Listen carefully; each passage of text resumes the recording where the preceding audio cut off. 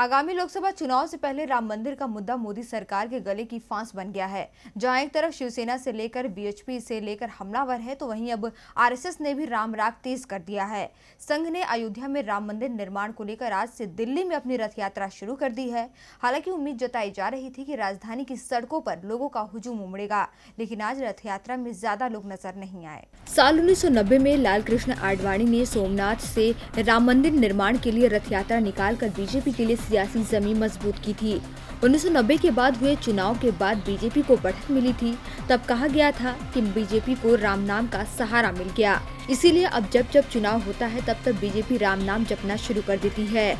2014 के लोकसभा चुनाव से लेकर उत्तर प्रदेश के विधानसभा चुनाव तक बीजेपी ने जमकर भगवान राम का सहारा लिया।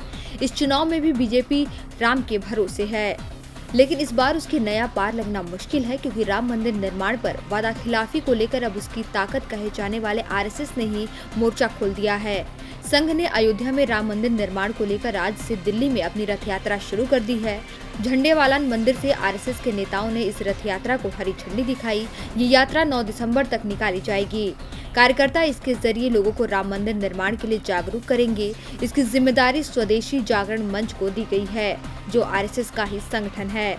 इस रथ यात्रा को संकल्प रथ यात्रा नाम दिया गया है। हालाँकि उम्मीद जताई जा रही थी कि राजधानी की सड़कों पर लोगों का हुजूम उमड़ेगा। लेकिन आज रथ यात्रा में ज़्यादा लोग नज़र नहीं आए। लेकिन कार्यकर्ताओं का कहना है कि धीरे धीरे हमारे साथ लोग जुड़ने शुरू हो जाएँगे।